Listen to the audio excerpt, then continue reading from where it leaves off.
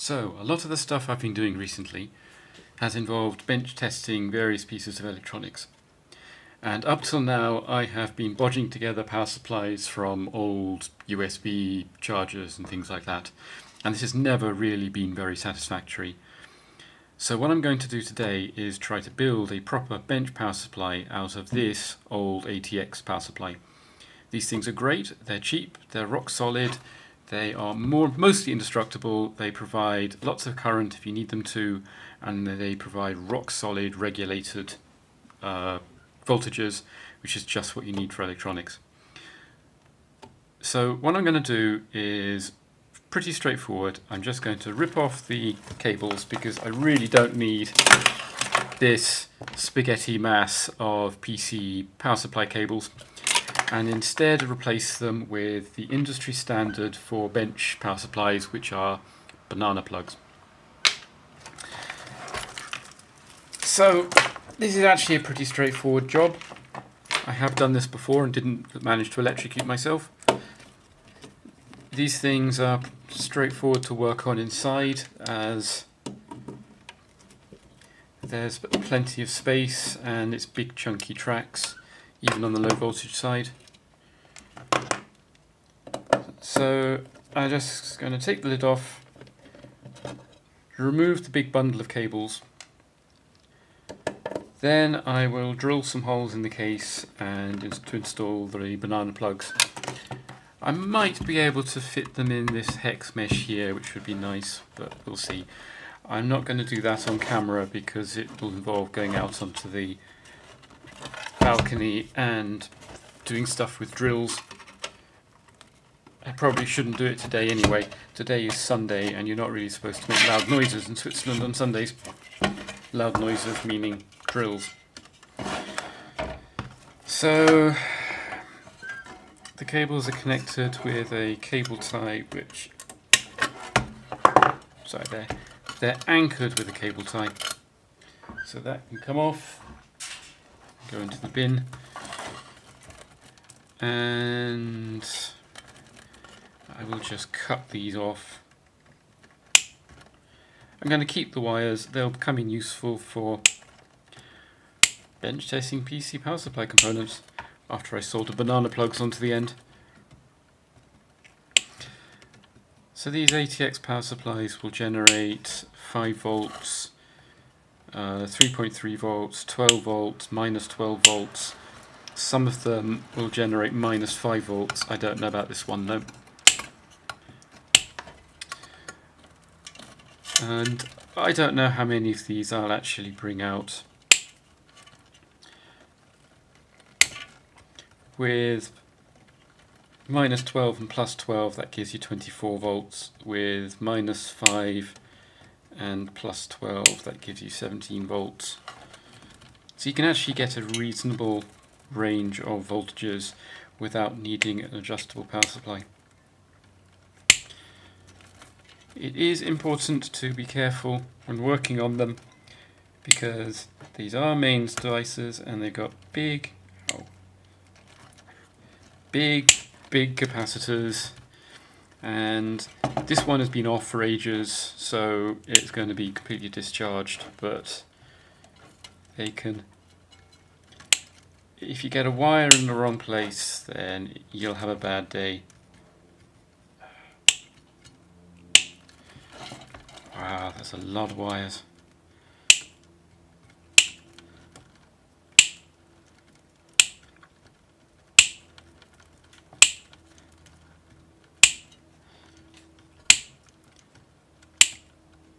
They can supply huge currents.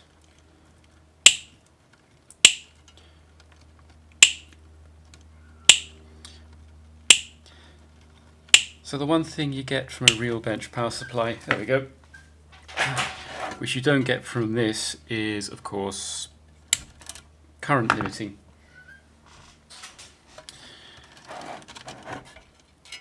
Okay, but I'm not going to worry about that.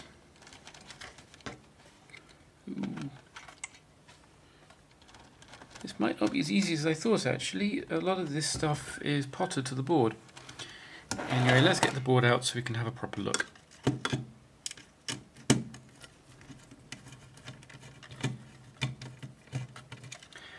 I might have had to have left those wires longer so I could use them to connect up my banana plug.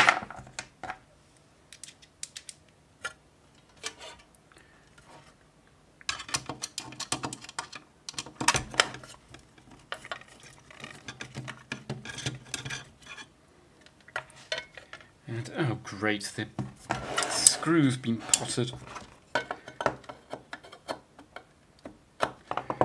suspect they don't want people doing this. Okay, I'm going to have to chip the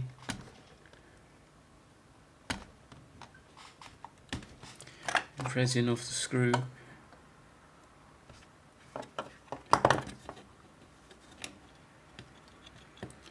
If it's possible. Well, the, the fan just plugs on, which is nice. So I can just unplug that put this aside for space. Screw. And I don't know what they made this stuff out of.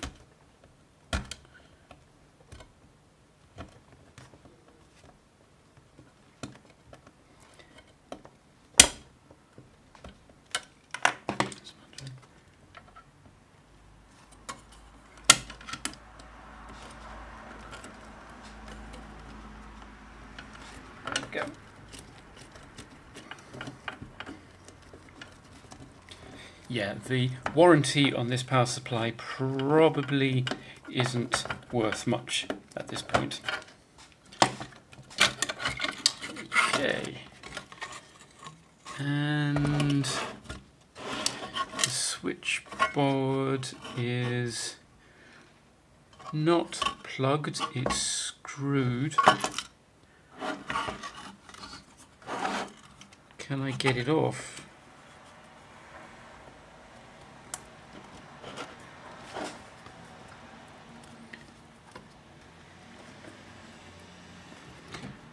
I do not think I can, to be honest. It looks like the switches clip into the uh, clip in this way and then the board has been then soldered to the back of the switches. So I cannot imagine how that would ever come off. Given that the actual power supply wires here are pretty short, that does not give a lot of space to work in. But I can get at the bottom of the board which is good enough. Yeah, this is a insulating plastic that's been glued into the bottom of the box. This thing was seriously not designed for maintenance. Right, we've got some massive solder. Because this has to deal with monster currents. And everything is nicely labelled on the front of the board.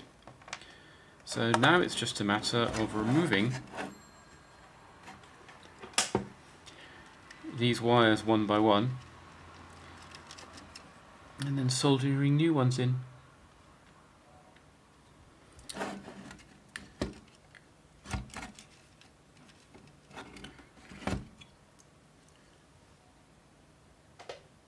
So we just adjust the soldering iron. It was set to 400, uh, 400, 340 for doing some stuff with a multi-layer PCB, which was unsuccessful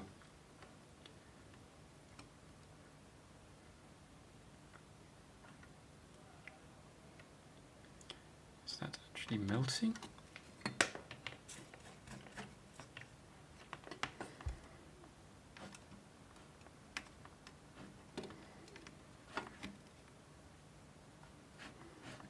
feel the wire heating up. There we go.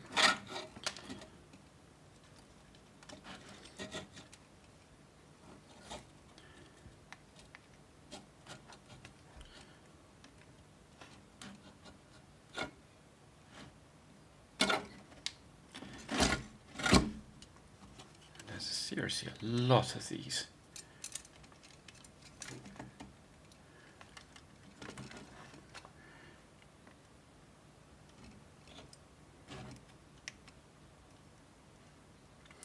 And this will all be ghastly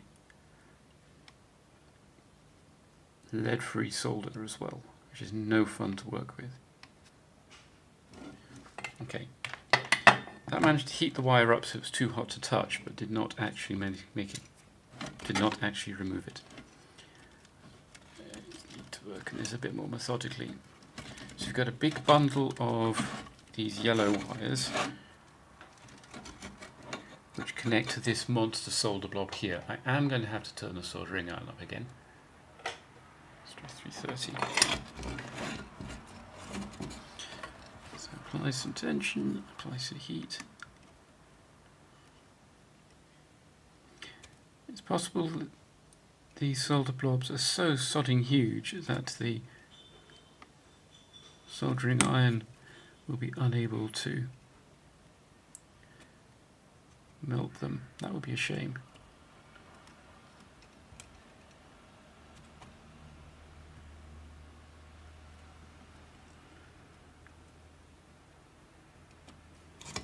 Yeah. So the other thing I could do, of course, is to just chop the wires off close to the PCB. These yellow ones are plus 12 volts. So I may not need that many of them. It'd be rather nice to get the whole thing off. Uh, okay.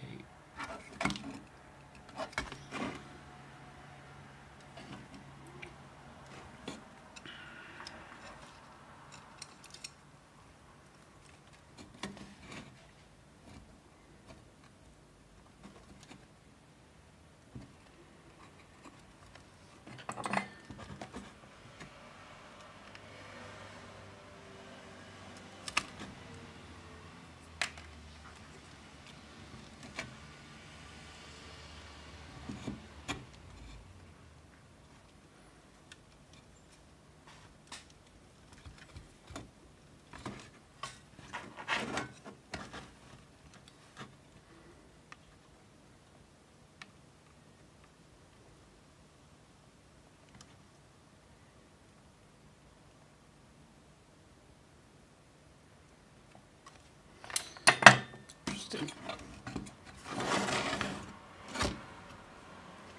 I might need to put some solder on in order to Ah, ouch. Flux is not your friend. This should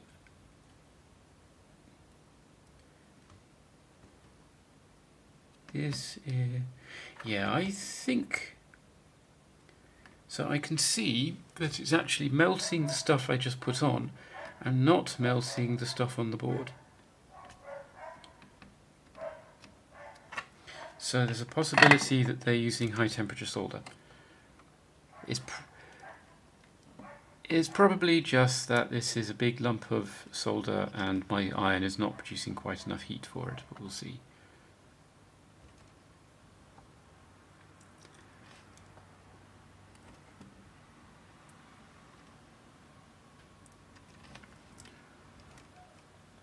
I said this was simple.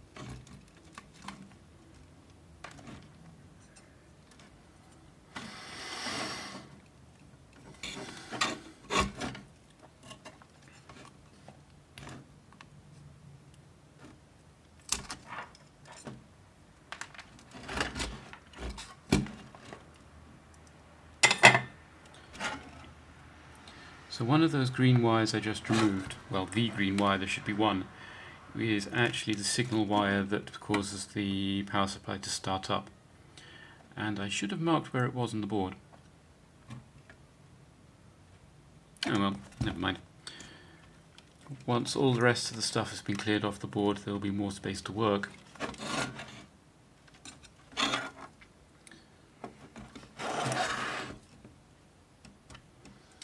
This enormous block here is all ground, and that is going to be enormous fun to desolder. Let's throw a bit more heat, but I don't think my iron's up to this. Luckily, I have a blowtorch.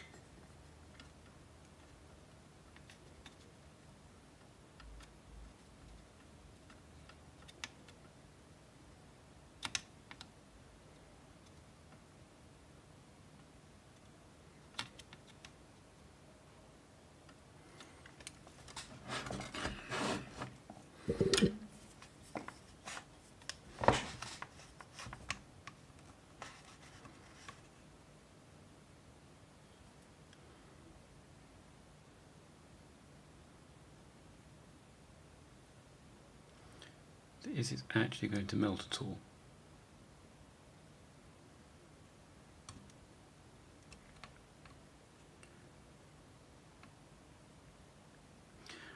I don't think it is.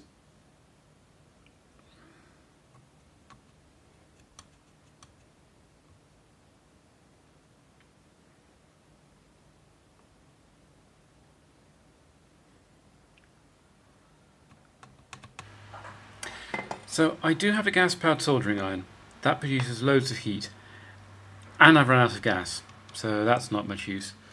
So I'm just going to try cranking this iron up some more. I don't really want to turn it too high. It's on 318 right now, which is very hot. But that is actually beginning to melt this stuff.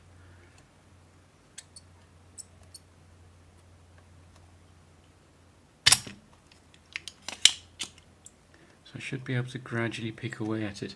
But I don't want to get the board too hot because I might run the risk of damaging things. So I'm just going to try to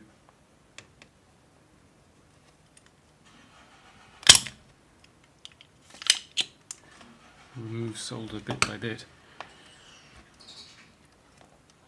Hmm.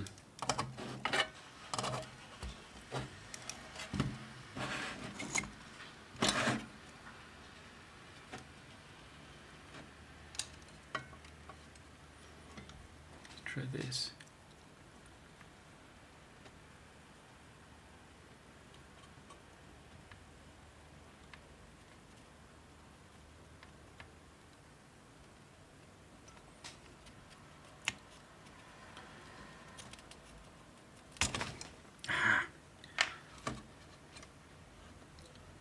Oh, they're massive, massive holes through which, yeah, look, look at that uh, there are about four wires through that one single hole. So in fact, there's this lump is not solder, it's mostly it's mostly copper from the wires. That explains why they're getting so hot and why they are so difficult to remove. So in fact, this now I have enough heat, this should be straightforward enough because they'll all come out as a unit.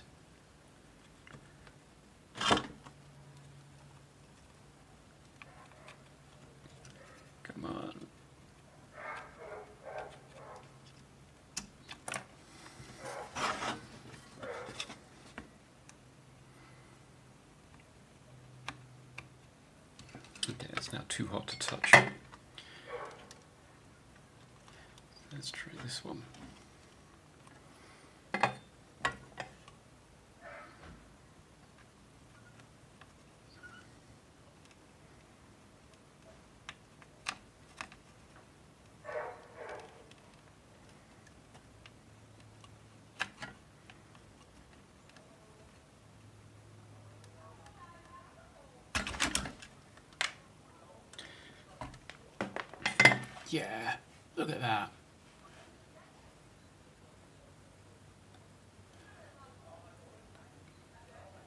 The wires are in fact crimped together and then the entire metal plug is pushed through the hole and soldered down. That's just not right. Okay, but anyway, it's coming, so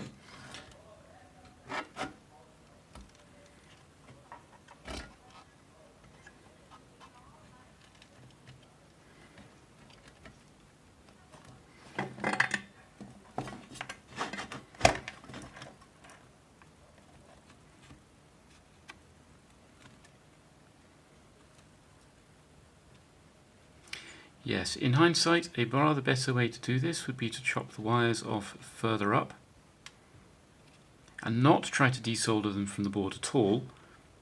Instead, just use something like a chocolate block connector or solder them directly to the banana plugs. Well, I assume that the reason why I'm doing this is so that I can make the mistakes that you don't have to.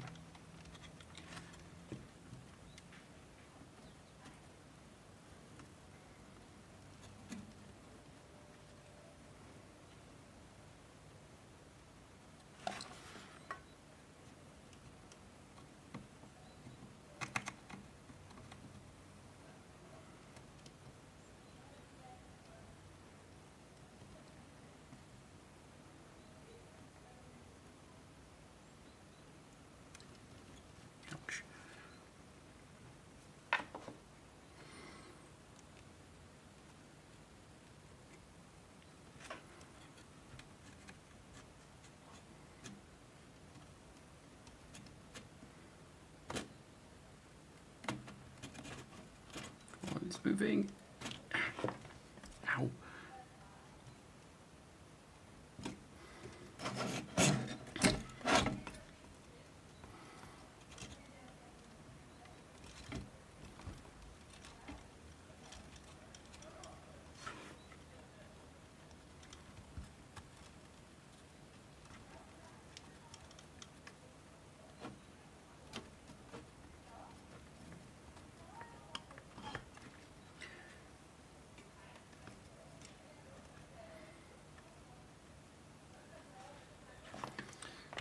Let's now loosen the joint.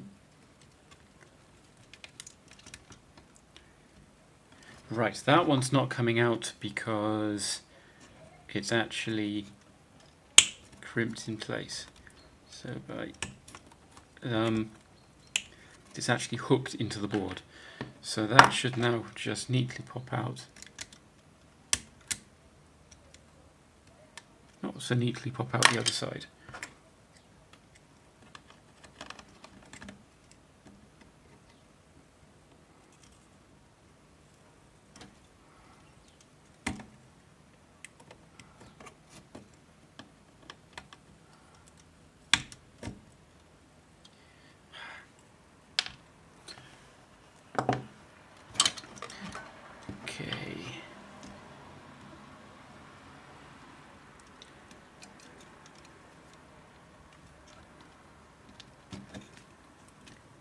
There's some more 12s that must here.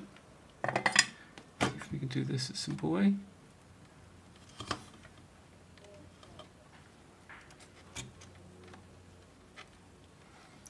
Um, that's the wrong wire.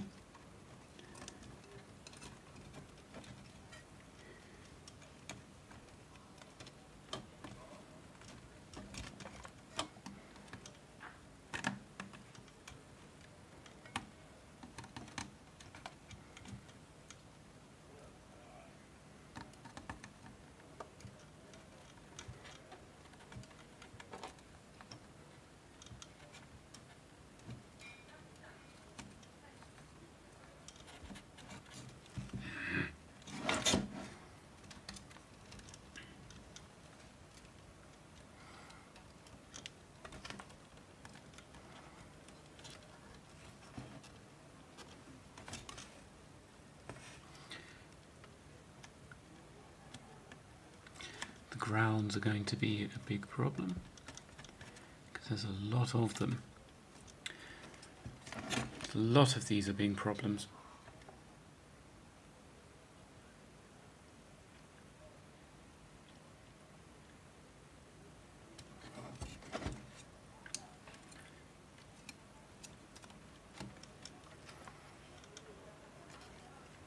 So these yellow ones are 12s and they connect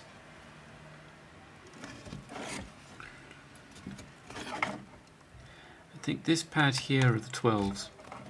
So in fact there's a big hole here yeah, which I can easily clear out with the soldering iron. So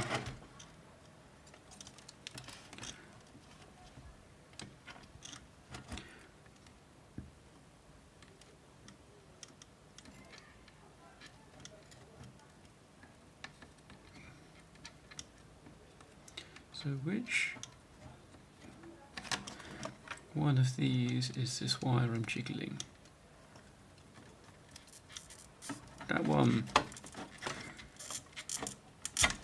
Right.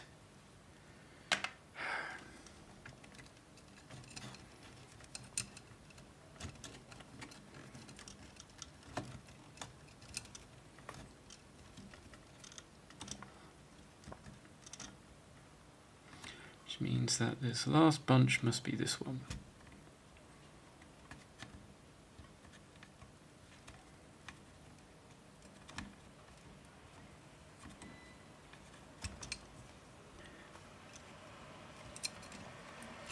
Maybe it'll-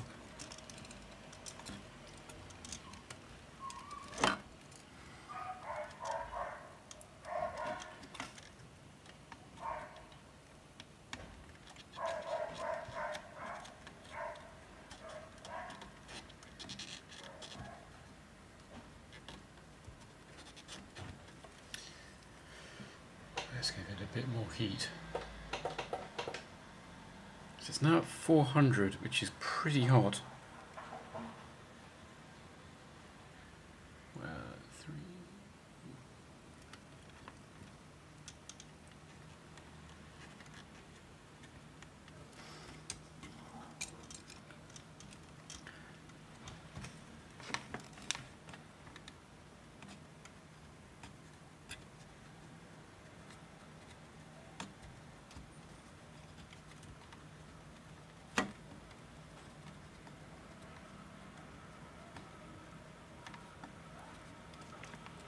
Well, it moved a bit, but not much. Let's try the other bundle of yellows.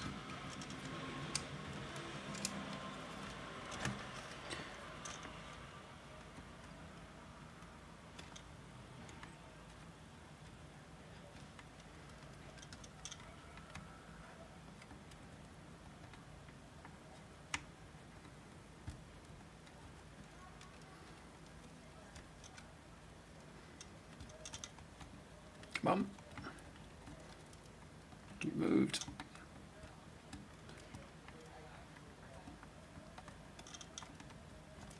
Not enough.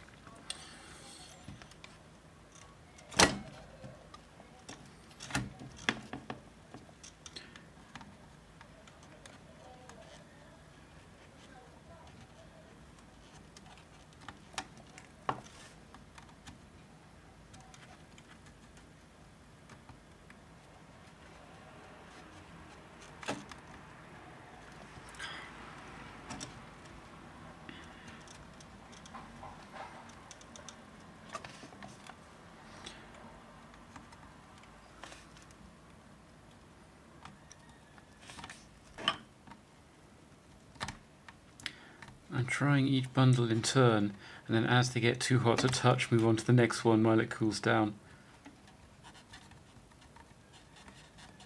No, that's too hot. Hmm.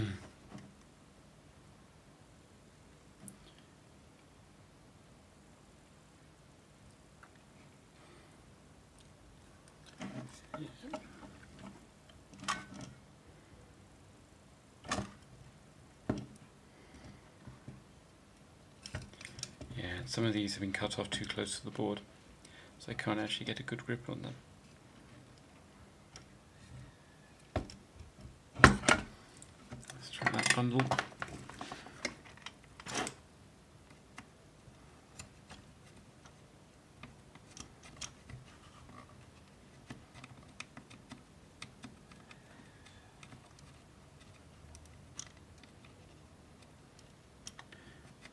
I was not actually expecting this to be so difficult. I wonder if I can do something clever with the snips by just chewing through.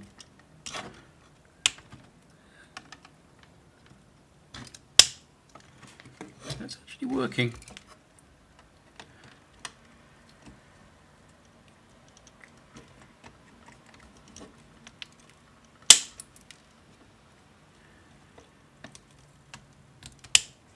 This isn't just cutting solder, this is actually chewing through the bottom of the wires and those big crimp connectors.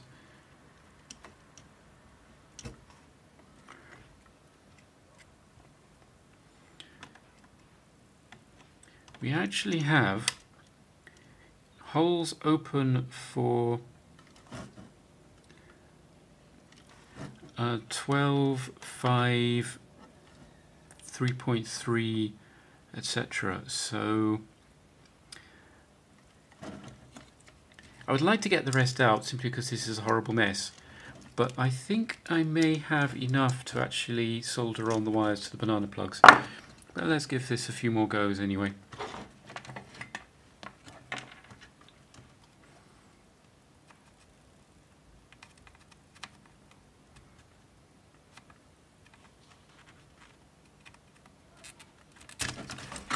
Ow. Yep, that one worked. Hey, that's all the 12s.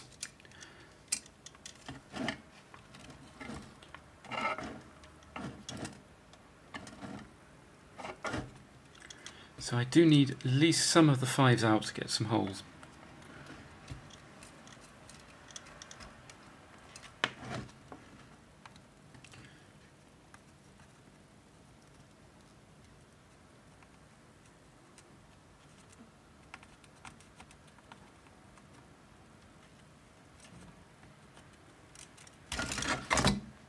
Ow. Right. That's a five. That's a bundle of fives. There's only one more bundle of fives by the look of it. So let's give this one a go.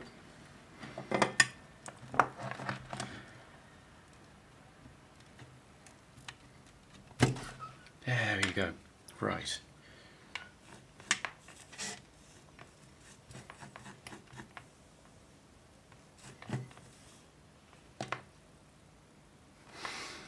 Okay, now we we need some of the ground leads. So let's see if I can identify a bundle with some long wires.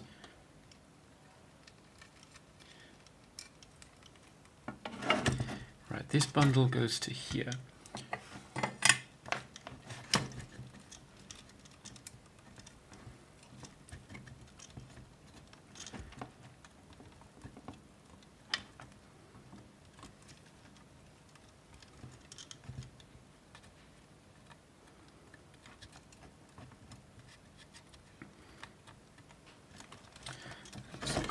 That one is not going to work.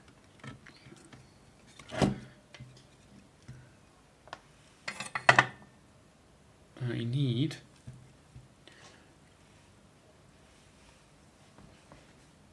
I need the pair of needle nose pliers that I can never find. Be right back. Found my needle nose pliers, which were of course within easy arm's length the whole time.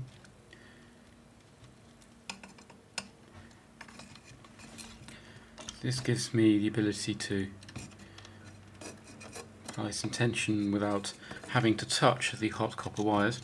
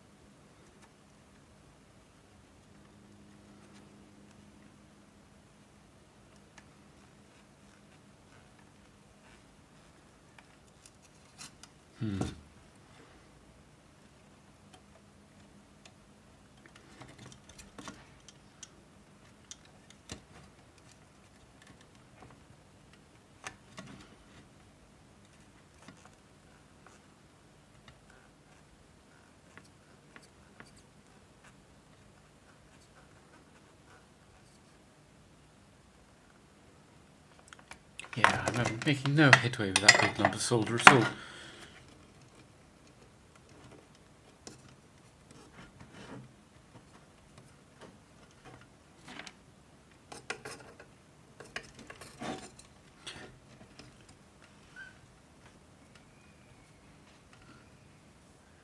Four hundred is the maximum this this soldering iron will go to. So it's not like I can turn it up any further.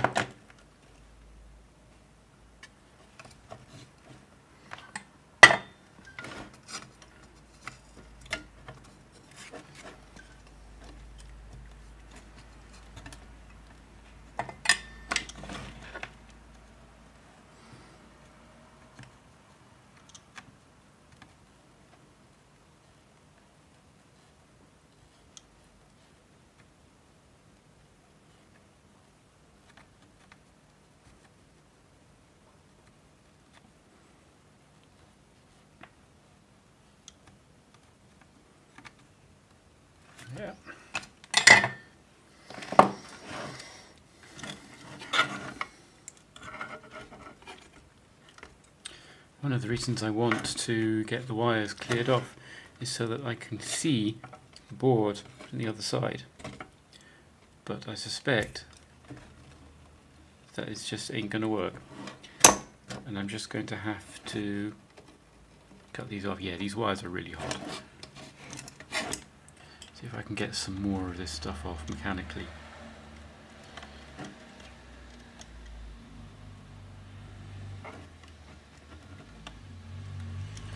That cap's pretty warm. wonder what it's rated at. Hmm, can't see a temperature.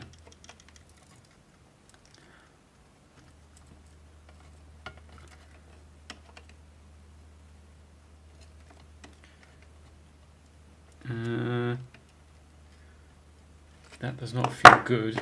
I wonder if I've taken the track up.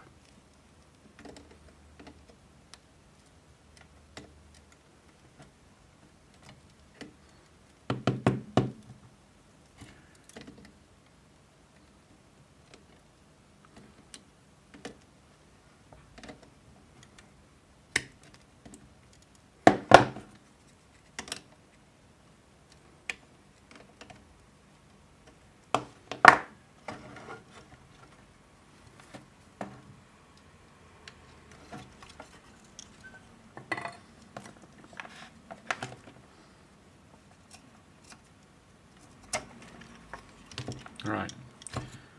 One bundle of earth wires. The more I take off, the easier it will be because there's less heat sinking the uh, less metal sinking the heat. Let's um, that worked quite cleanly. It hasn't touched the track at all. So let's try a bit more mechanical leverage.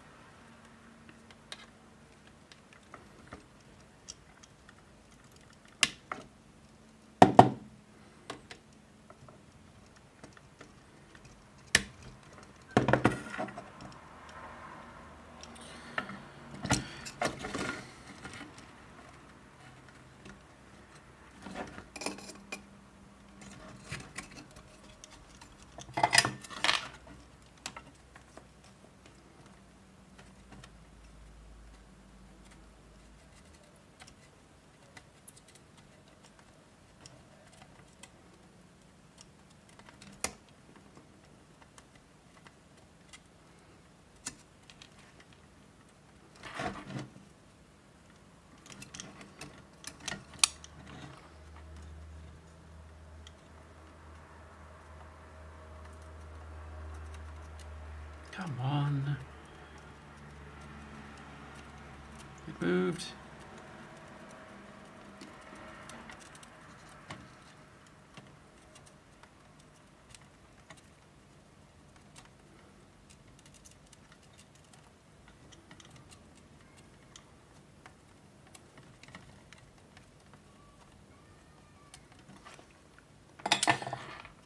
The thing that might have happened here is that I've bent the crimp so it now won't fit through the hole anymore. It did move a bit.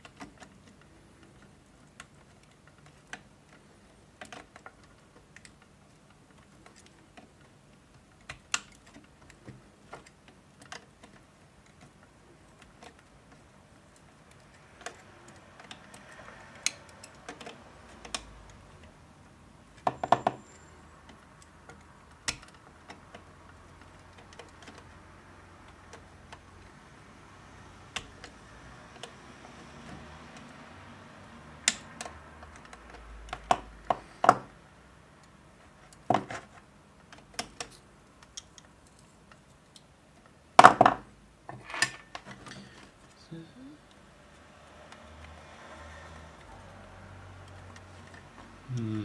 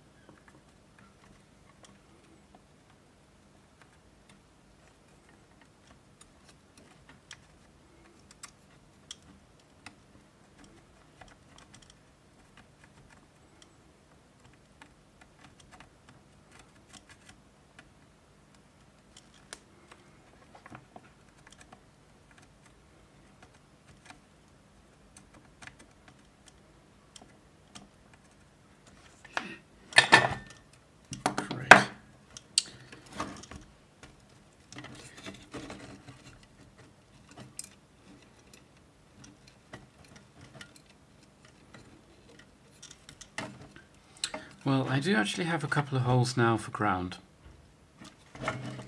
So possibly I don't actually need any more. I would like to, as I said, shave off these wires so I can see the board. And most importantly, see the labels on the board. Getting access is going to be rather tricky if I want to shave them off at board level because it's all like buried deep between other components.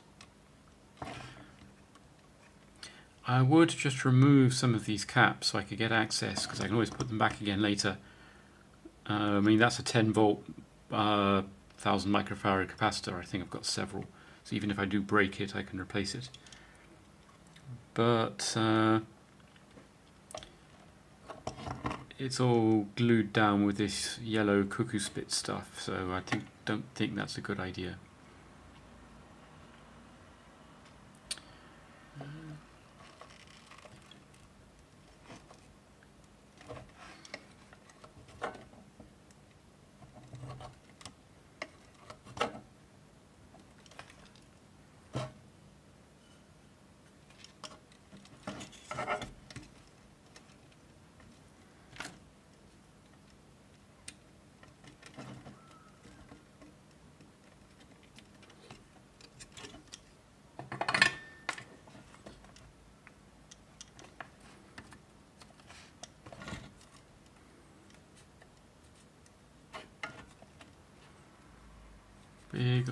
Of copper wire sucking away the heat.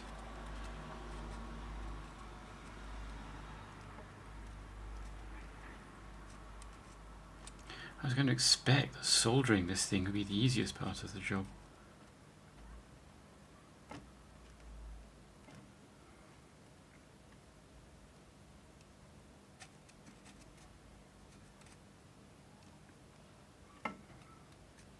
Hmm.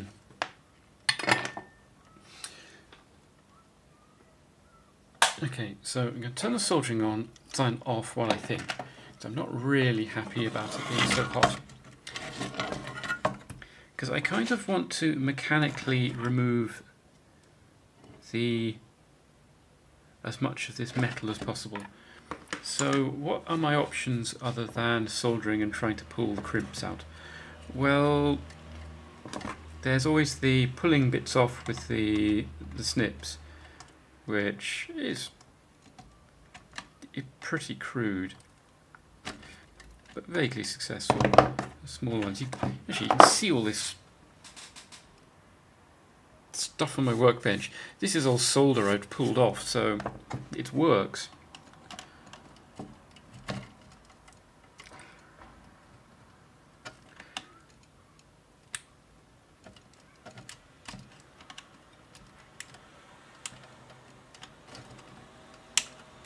The other thing I suppose I could try is drilling out some of these plugs.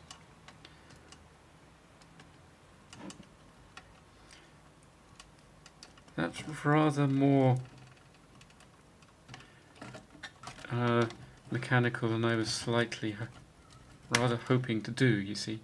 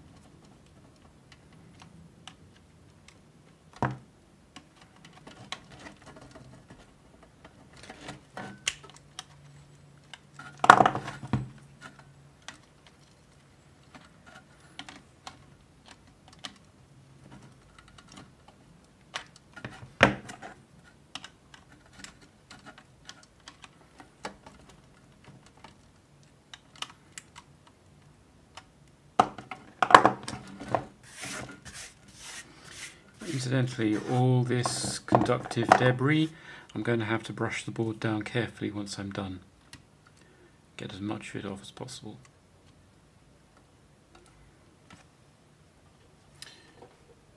Okay, let's give this another go.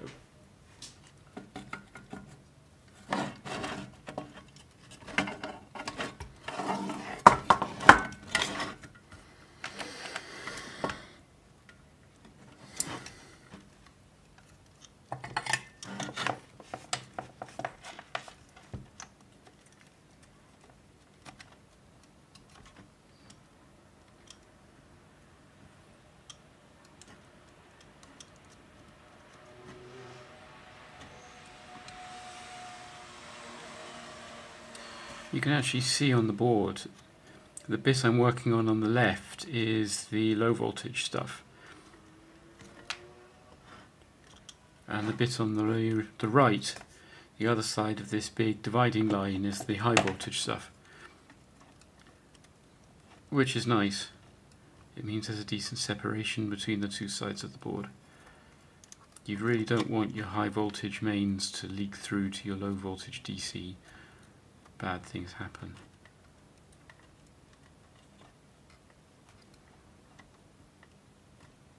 Ha, got one. Okay. So, which one's next? This bundle.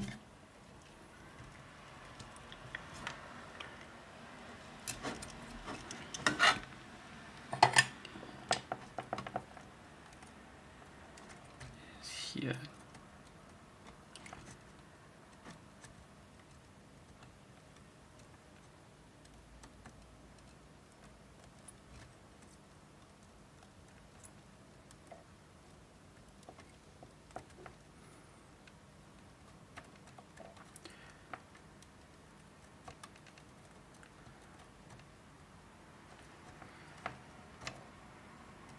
Come on.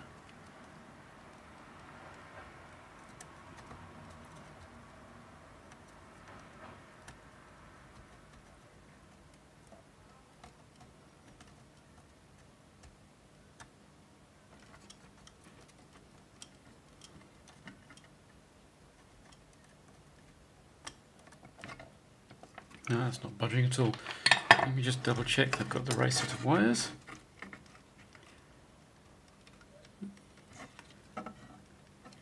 Yeah, looks about right. Anyway, let's try this one instead.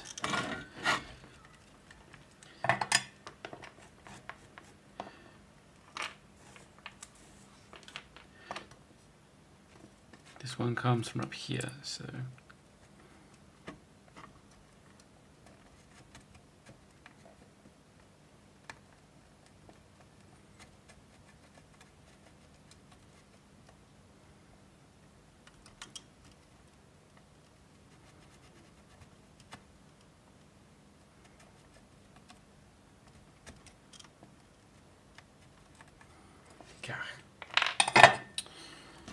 Okay, let's try the snips again.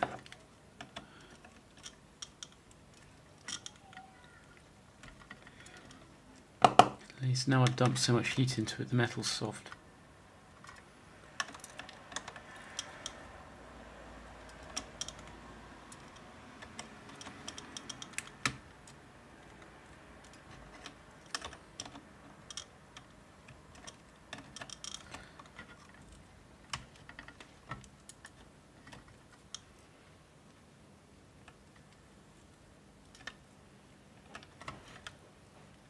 Okay, I am actually gouging up the PCB there, so let's stop doing that. I mean, it's not like there's plenty of track, but...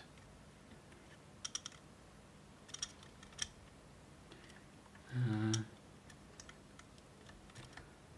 yeah, let's lift at the track.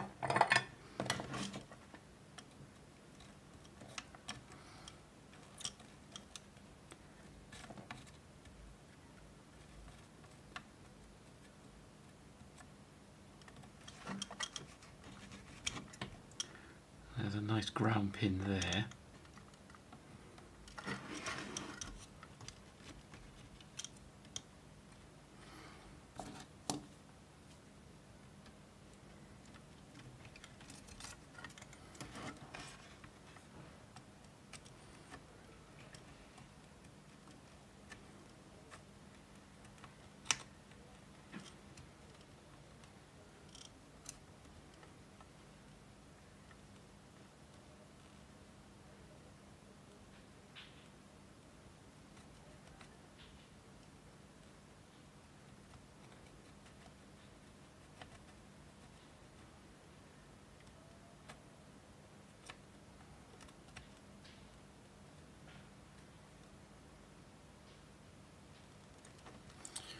Hmm, that's interesting.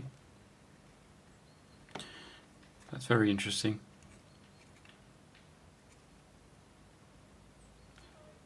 Yep, the soldering iron is too hot. I can tell because I've wrecked the tip. Well, that's great. It's actually corroded into down one side. So let's crank this thing down to a rather saner 270-ish. I'm going to have to replace the tip, so, I mean, it's now like buggered.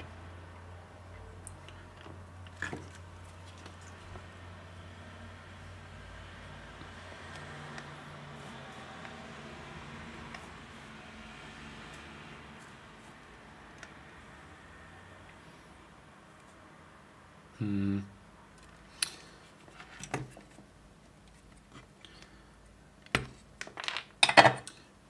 Let's turn this thing off. I don't think I'm going to have any more luck trying to get stuff off the soldering iron.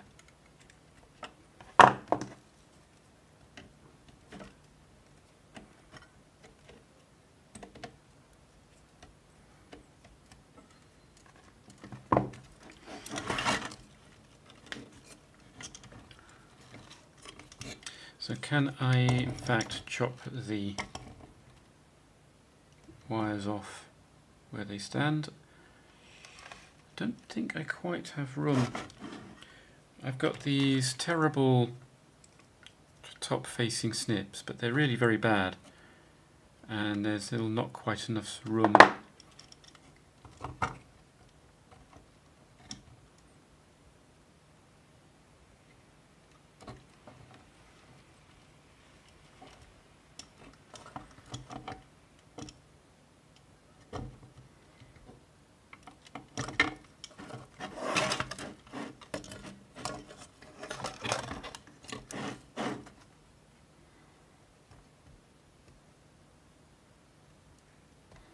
Hmm. Bottom of the board is actually quite cool.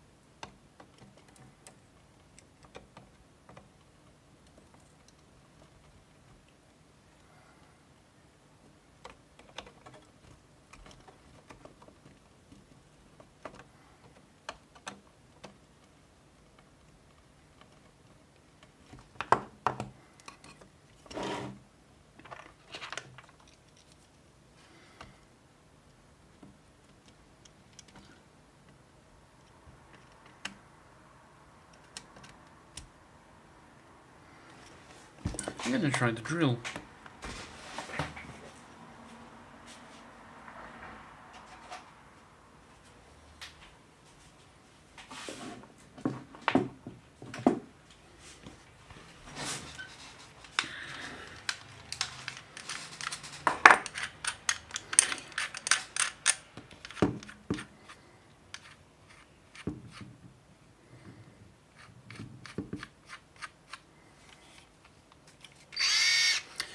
After all, what could possibly go wrong? I mean, I'm working on a piece of delicate mains powered equipment.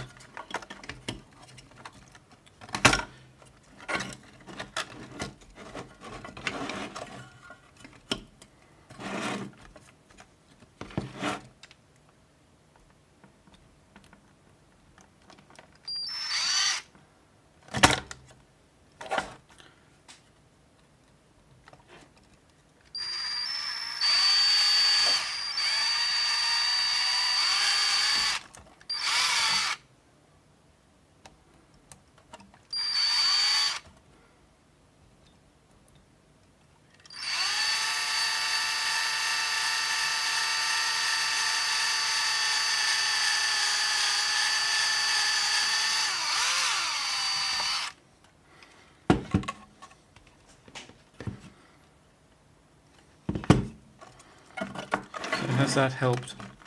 I have a couple of holes through plugs in the wires.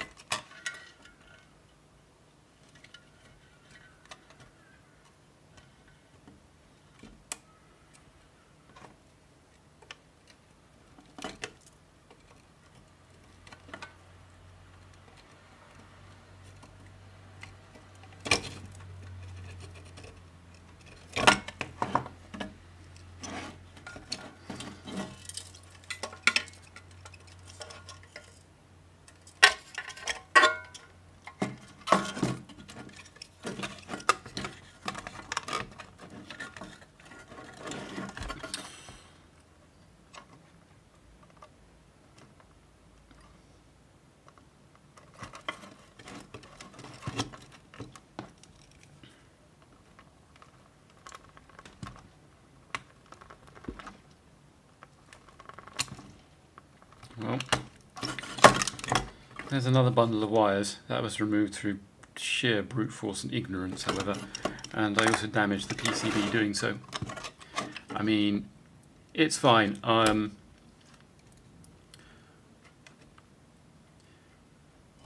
just to be on the safe side, once it's done, I'll solder a jumper wire across these two bits of PCB. But that was not the right way to do it.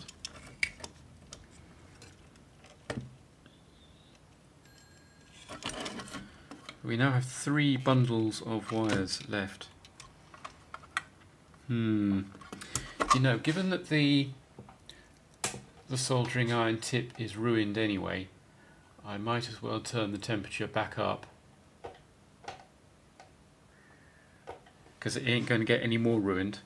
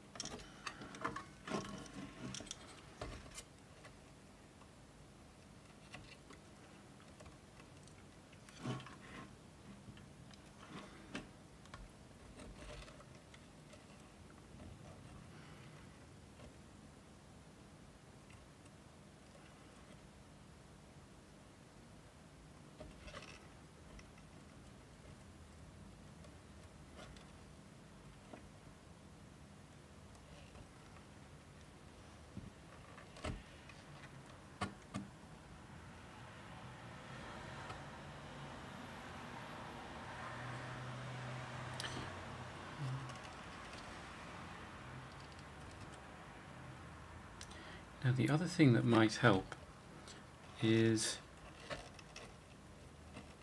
snipping the wires off reduces the thermal mass and allows me to get the solder hotter so be more likely to actually get the stuff off. I'm not sure that I can snip them off.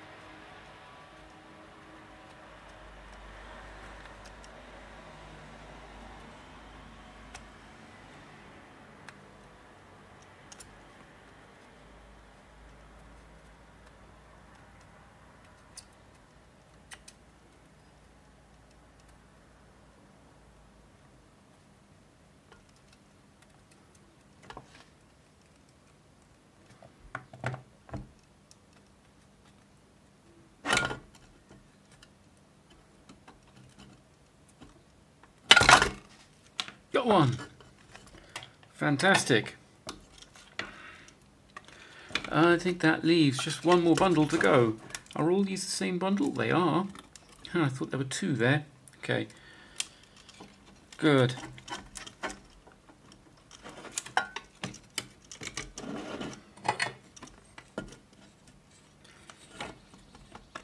So this should actually, yeah, be so much easier.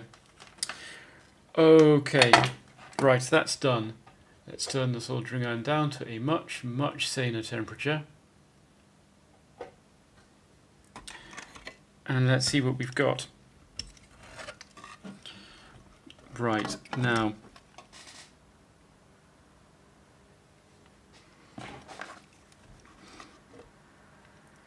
There are multiple 12 volt supplies. There's one here and there's one here. The 5 volt grid is here and there's a nice small hole for me to put my wire in. Ground is here, likewise a hole. 3.3 is here. Now the startup signal Oh yeah, this one here is plus 5 standby, so this is on even if the rest of the supply is off, but it's very limited as a current. Uh,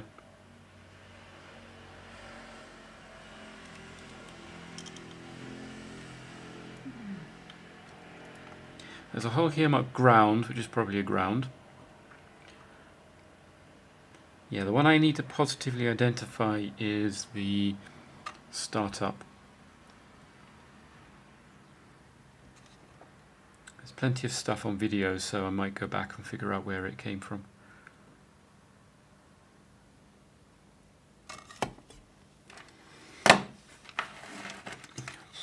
Yeah, look at this stuff. Nasty metal crimps, and I managed to bash myself about.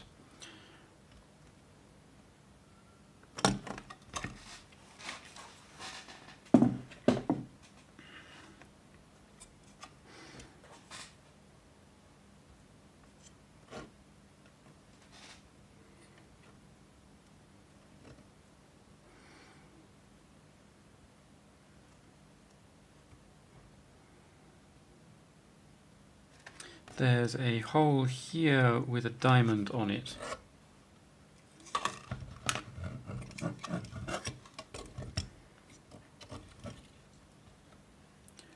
But that's just connected to the 3.3 volt lines, so there's not much interest. Notice that the two big 3.3s here and the little one above it are not connected on the PCB. So let's just try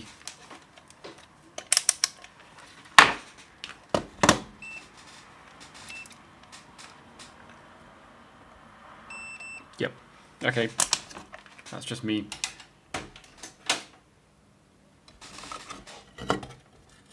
There's a hole down here.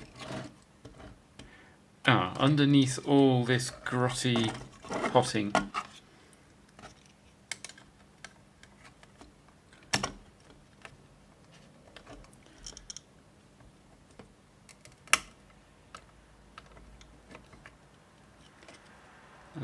The label.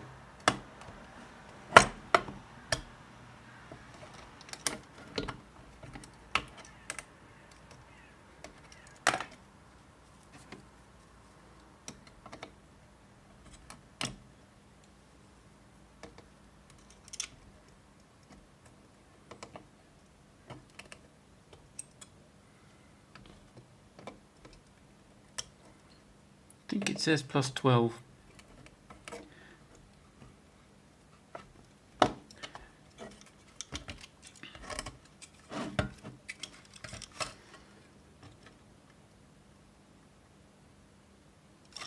So if that's plus 12, is it connected to the other 12?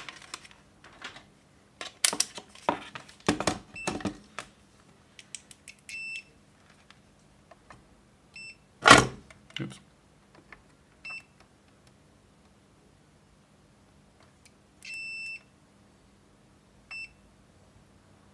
Uh, oh, interesting. I think it's connected to a capacitor. That's, yeah. It's, it's also probably not our startup signal. There's a hole here.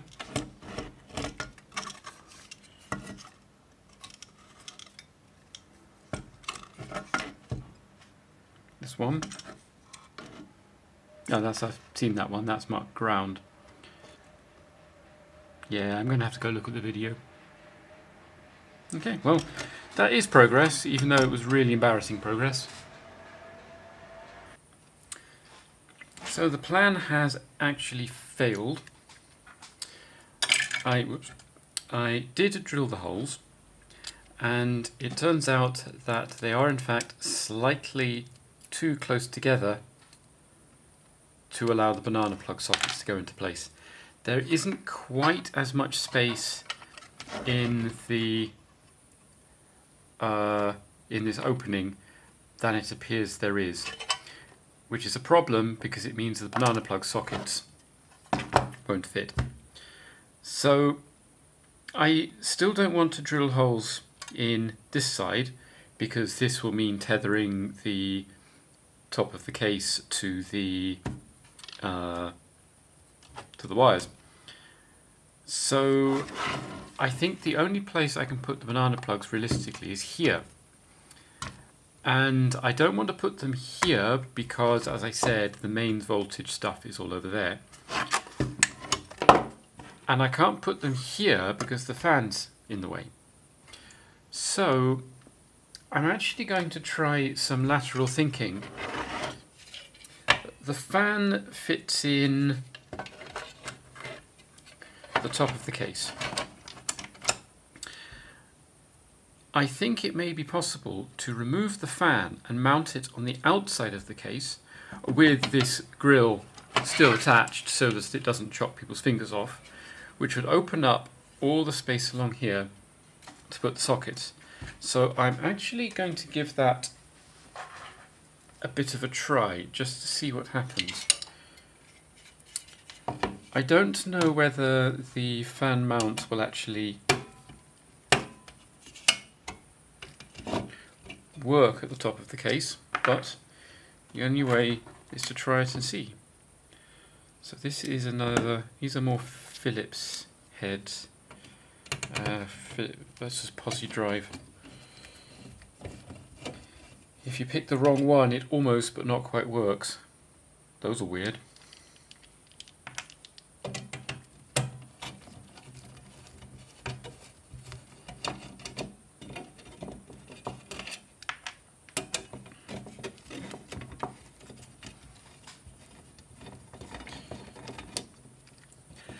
Can probably actually get away without the fan. The amount of power this thing's going to be dissipating is essentially nil. The piece, uh, the power supply is designed to run a 200 watt PC. So this can fit there. And the grill is actually, is the grill glued on? That'd be great if it was.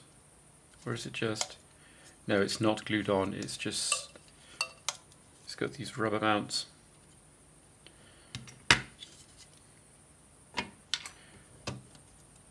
Yeah.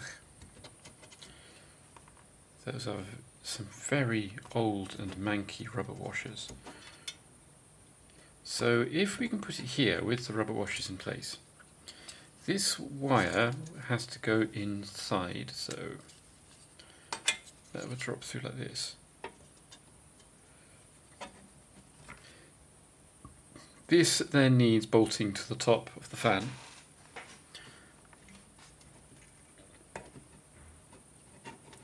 Is that going to work? I think it might, you know.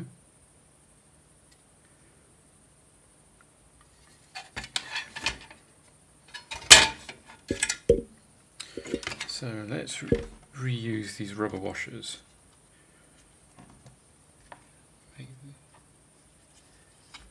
Uh, they have been holding this fan on for so long now it seems unfair to throw them away. Wherever the last one went.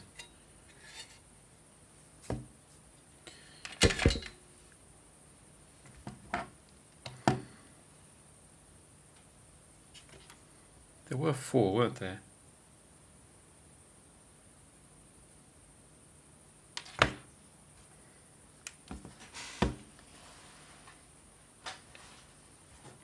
Not believe I dropped it. See, this is why I take video. Yep, tracked it down. I had in fact dropped it on the floor. Okay. So...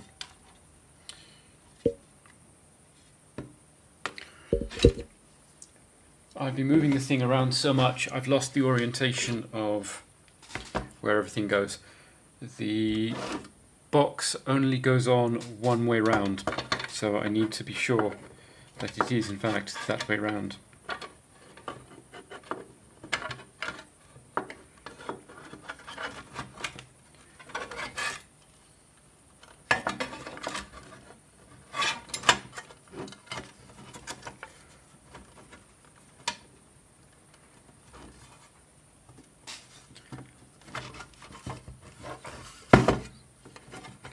because these things here need to lock into place.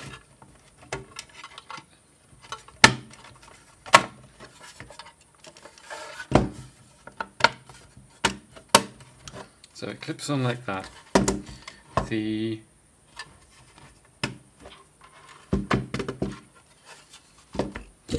the power socket for the fan is there. So this needs to plug in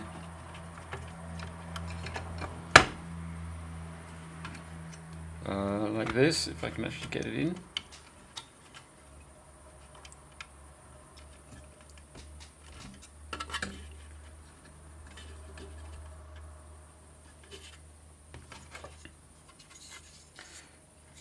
And the fan needs to be this way up so it blows up into the air.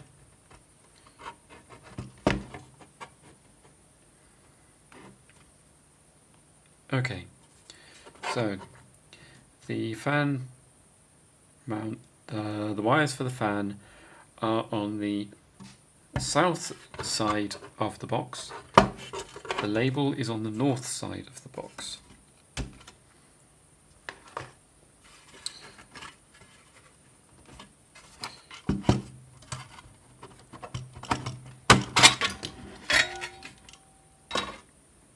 Yes, that does in fact not go on the other way. So with the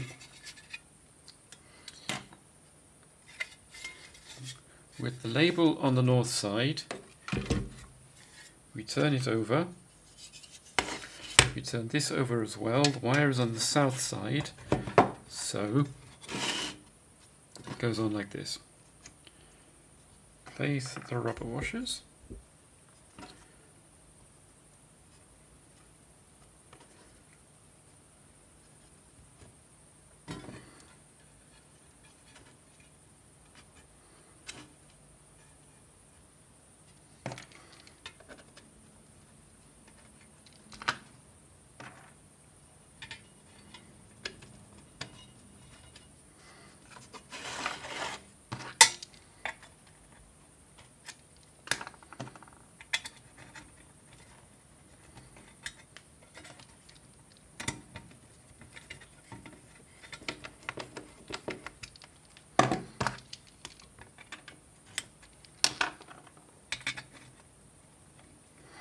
The fan, as you can see, is filthy. I should actually clean it before I put it all together again.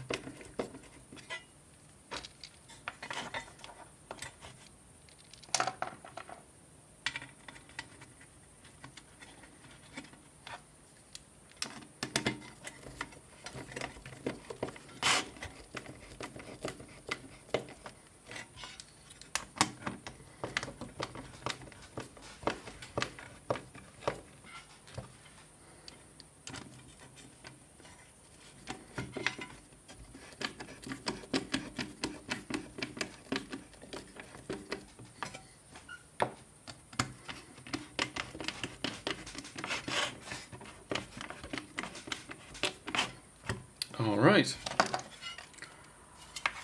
So it goes on this way. That's not so bad. Fan cover goes here. And we need some nuts and bolts to fasten it on with. What have I got here? Some generic metal bolts.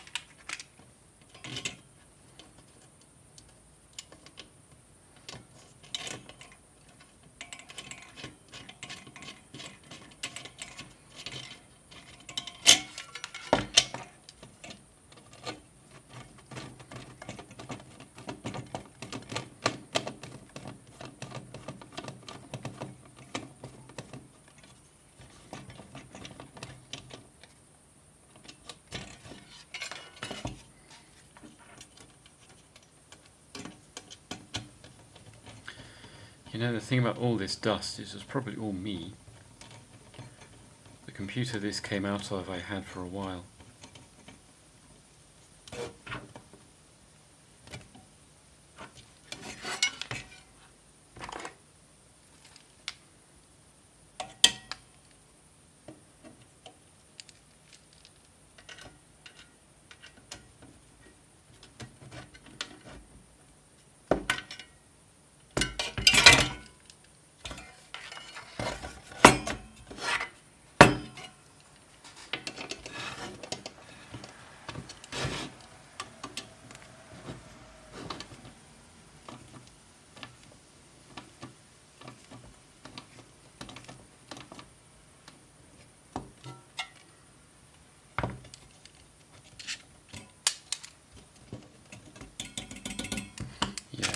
Probably do the others as well.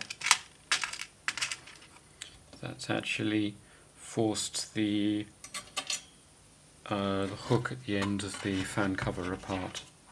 It isn't so hot.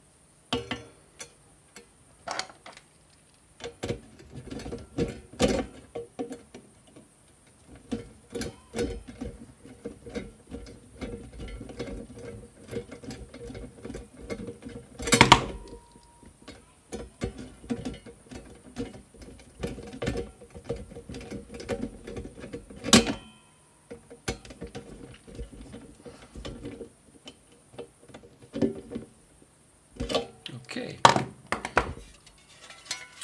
One fan in place. So that looks like it'll work. So I need the banana plug sockets to go here. This will involve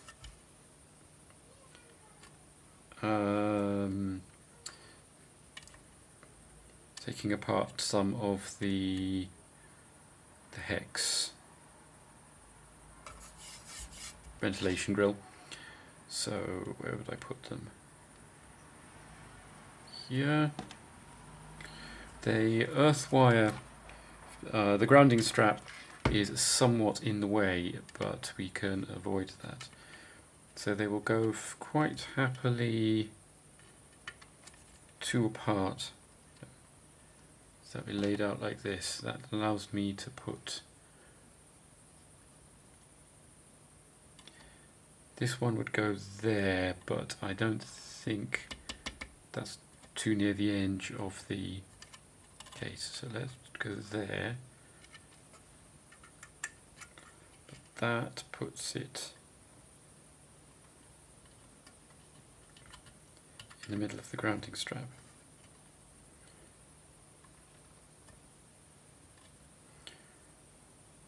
So if I go there, skip 2 for there, skip 2 for there,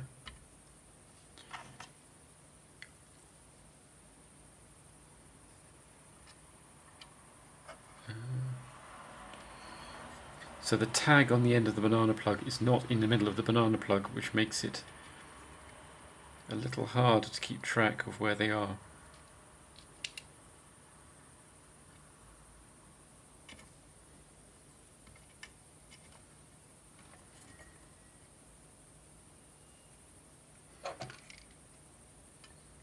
That one. That one. That one. Yep, that's quite reasonable. This is a straying a little into mains territory, but not too badly. The good news is I probably don't even need to drill it, because I should just be able to. Uh, if I'm strong enough, I should just be able to snip this thing apart.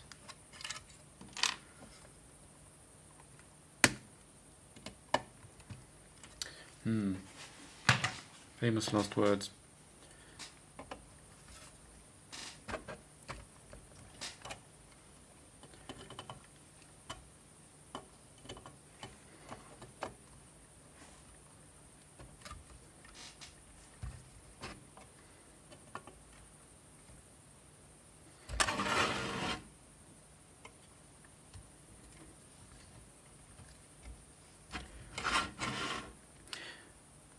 Thing the hex grill might do for me is it makes it really easy to mount a power LED, which is another thing I'd rather like.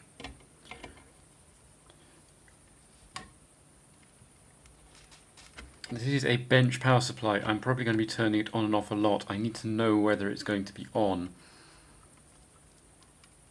before I start dismantling whatever it is I'm dismant I'm currently running off it. Okay, that wasn't what I wanted.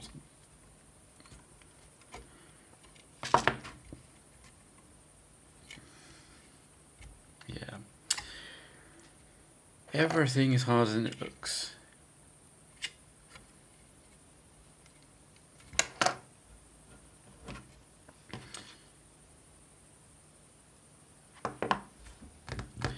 So what's a good way to get this apart?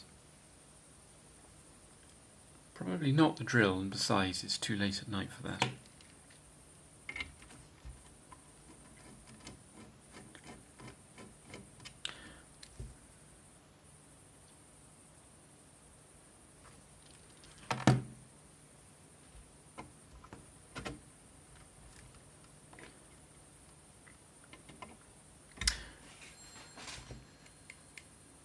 I in fact own two pairs of snips, which are these. So I'm just going to have to try try it with these. Then the the teeth, the blades aren't quite narrow enough to go in the holes uh, to go in the holes in the hex grid. It does appear to be cutting. I have to be careful not to bend it actually.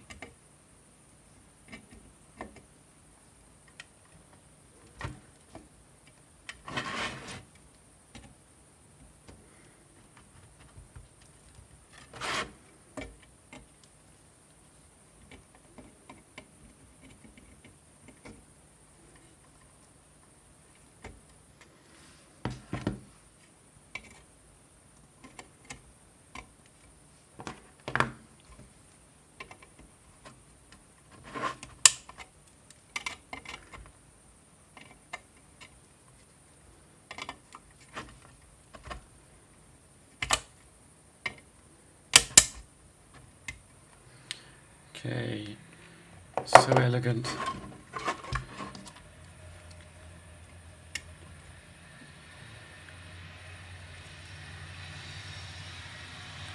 Can I uh, this one is going to be 3.3 volts, so we actually want to arrange them in order of voltage.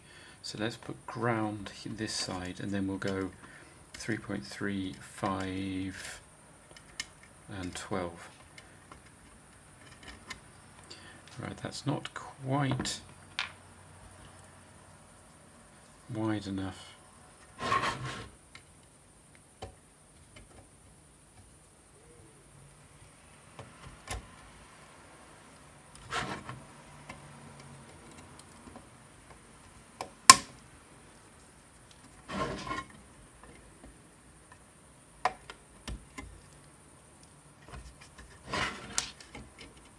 Again I'm going to need to check carefully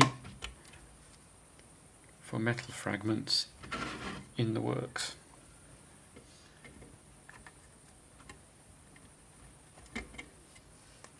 Because shorting something out in your power supply is generally not considered a great idea. Okay, that goes in. It's not brilliant, it needs a washer, but I'm not sure I have any big washers. It is amazing what you can do with a grommet. So, I need to cut the grommet lengthways. Try to cut the grommet lengthways.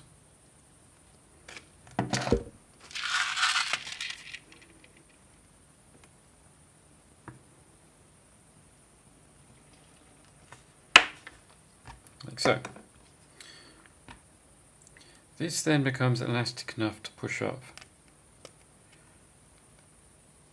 over the banana plug socket. I then find the banana plug socket's bolt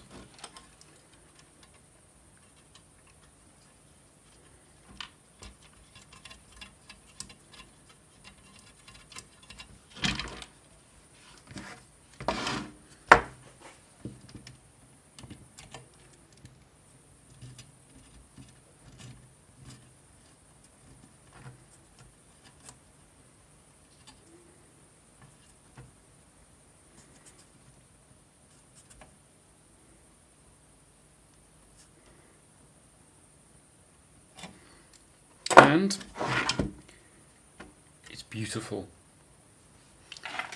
Let's just try plugging it.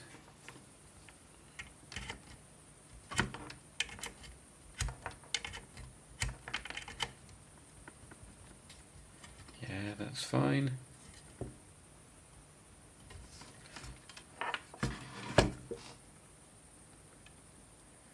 The rubber gives it a bit of flex, which may cause it to um, come undone. So I actually need to. So I tightened it by rotating the uh, banana plug itself, but I actually need to tighten the bolt itself. Because now the banana plug won't rotate because it's jammed by the rubber washer.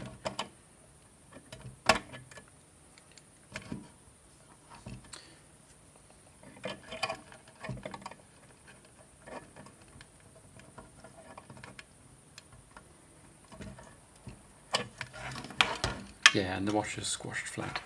Good. So it's now much more solid. Excellent.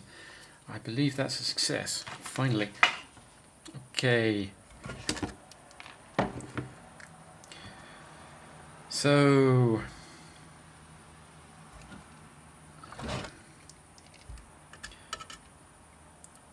skip one. The next one I want to do is this one.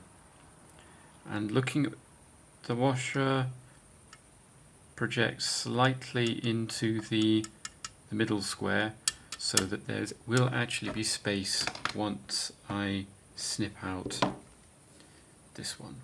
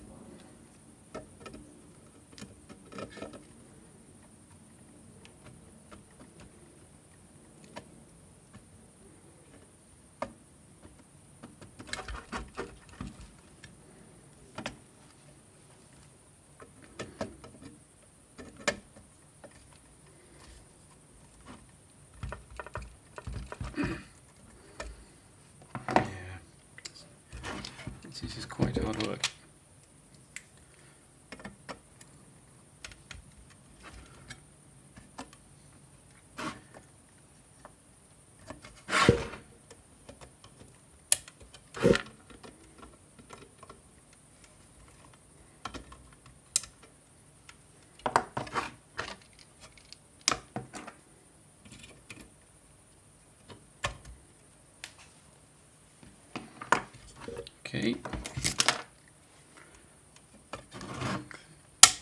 and clean up.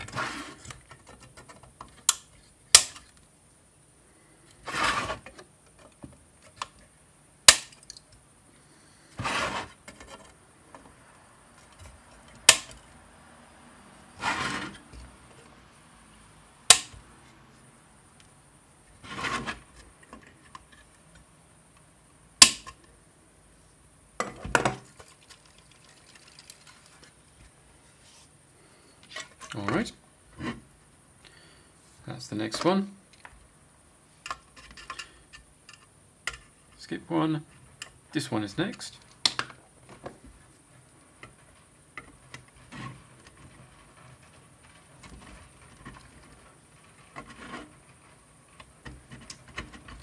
This one will be 3.3 volts.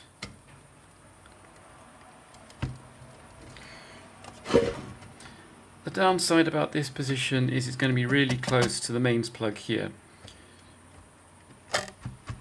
Which is, that's not dangerous, it's just unwieldy.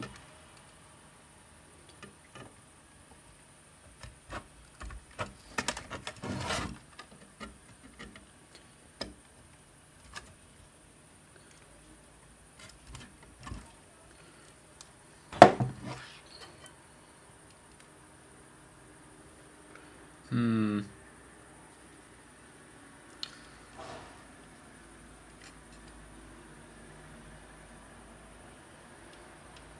I hope that's true, because there are actually big chunks of exposed mains on the on that board there. It should be okay.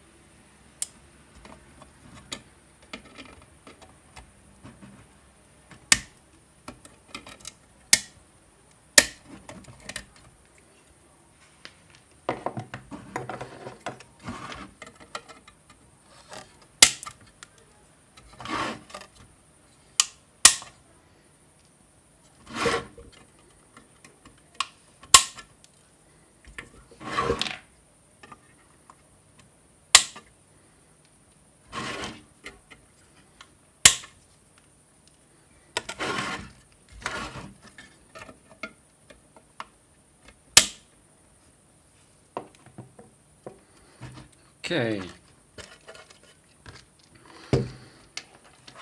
Three holes, one more to go.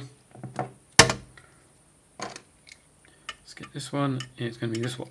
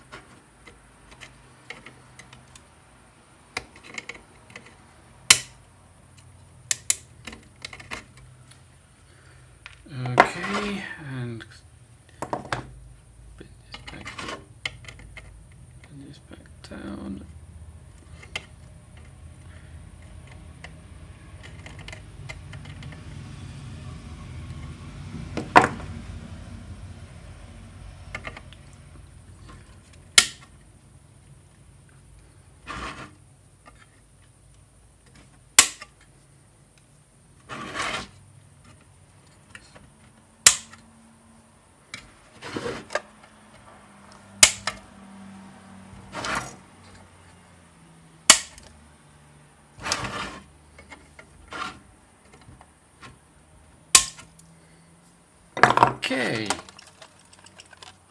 Right. So 3.3 volts, which is going to be green.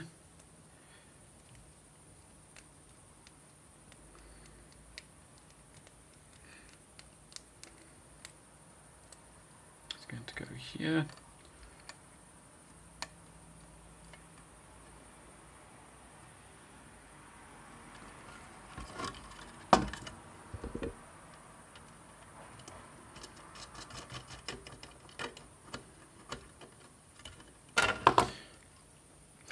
Actually think I need a spanner for this. One spanner.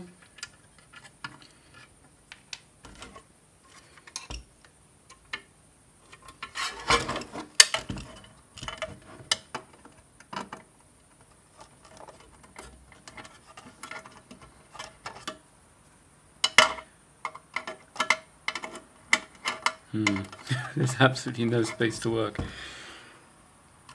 Sure the spanner will help. Yeah, get a bit of a turn.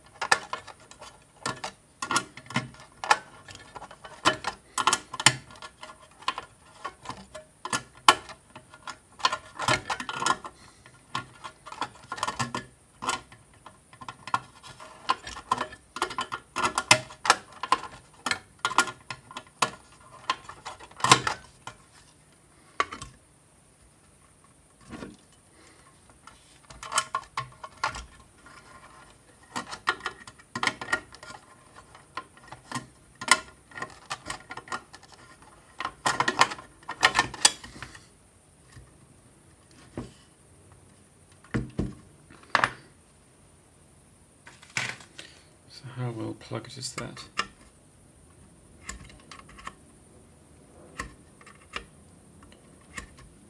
Needs to be a bit tighter.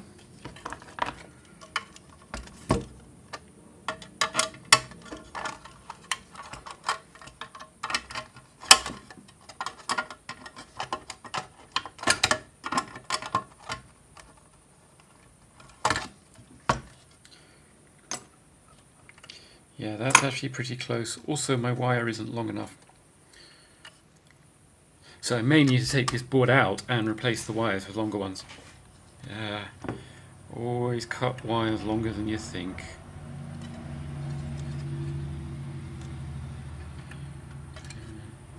Also, it is actually quite close to this big chunk of mains.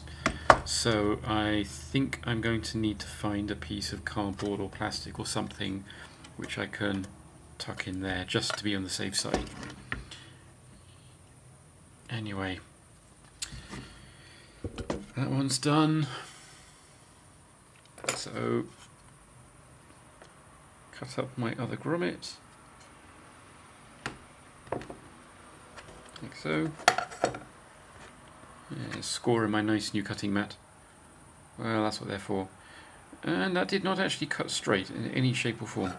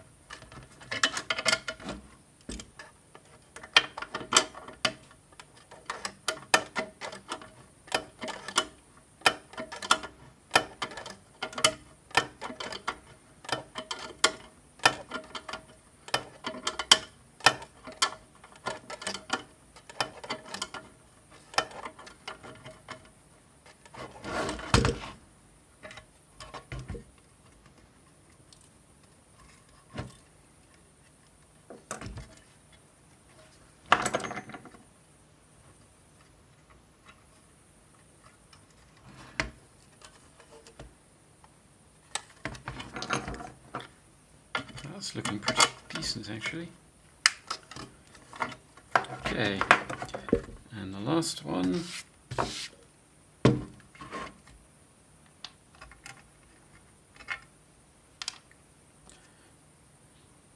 is the 12 volt line.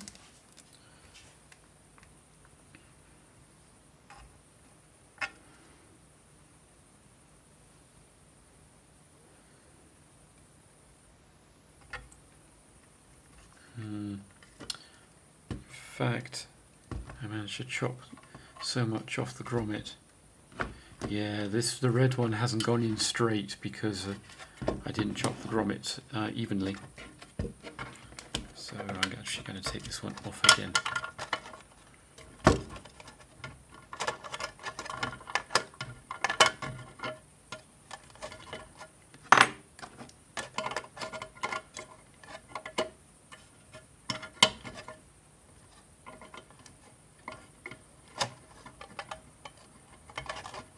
And I'm going to have another grommet in half for the yellow one, because that's uh, no good.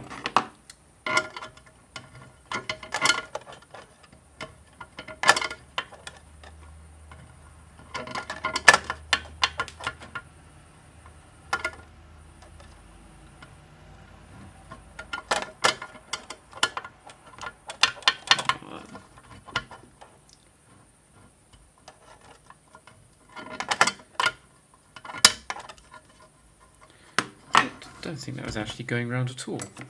It, it looks like it was.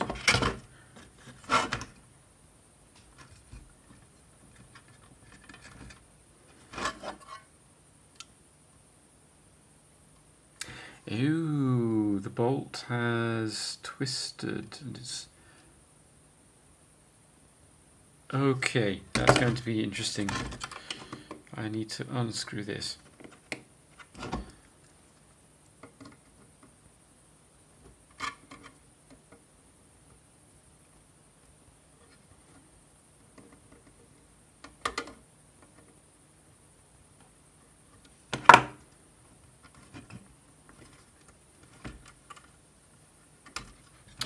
Yeah.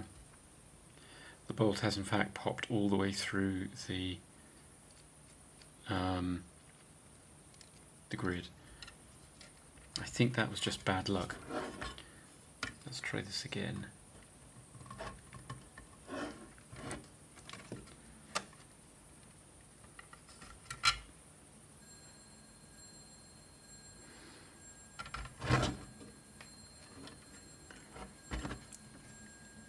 get yeah if I can get the plug seated properly with the grommet pushing through instead then that will make the bolt actually work.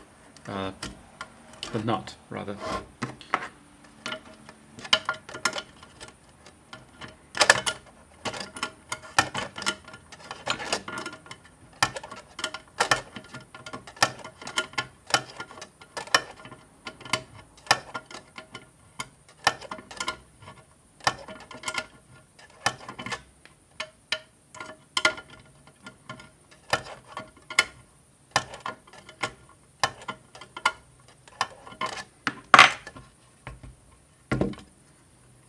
Yep.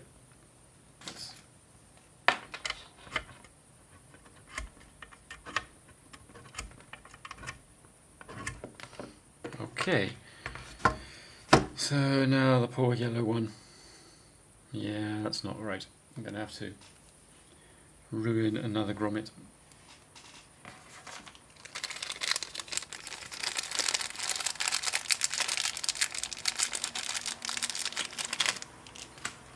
Let's see if I can do it right this time.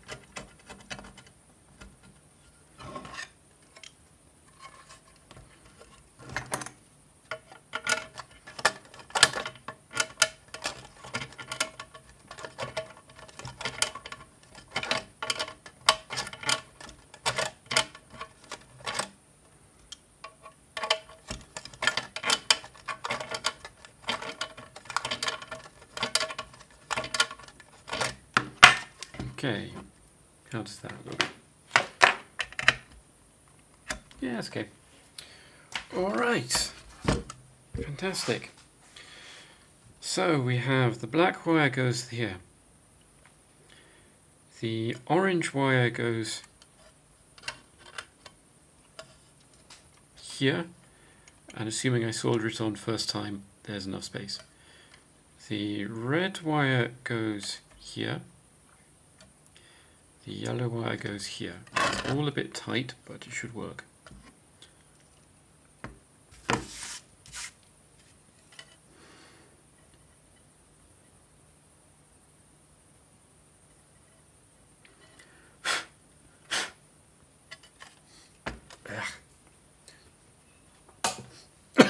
well, God, repulsive dust.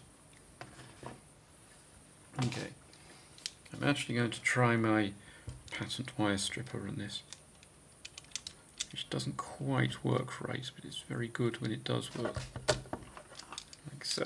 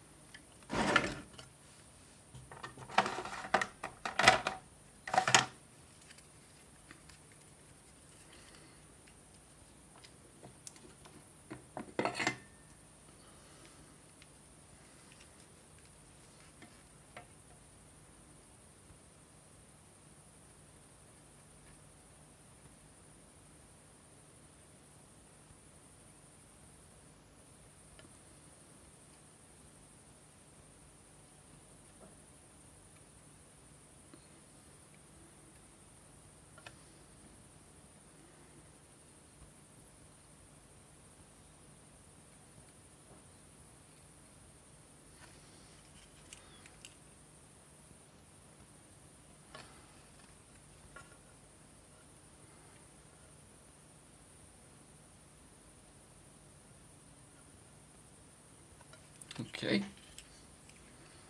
Now tin the, the banana plug in uh, tags. Also trying not to drop to drip solder into the works.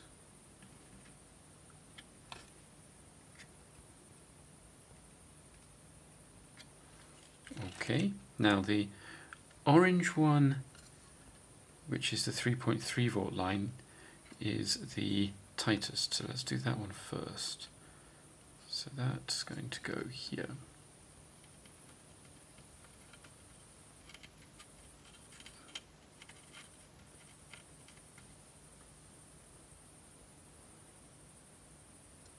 No problem.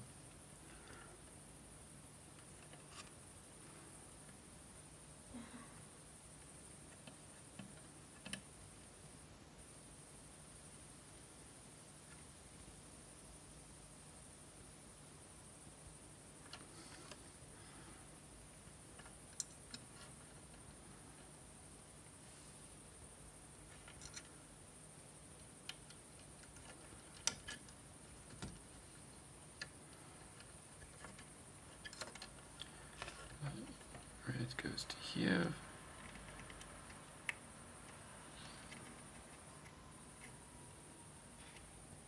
For 5 volts.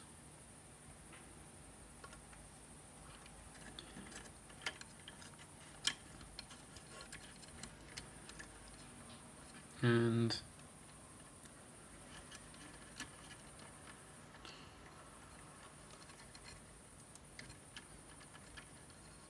twelve goes to here.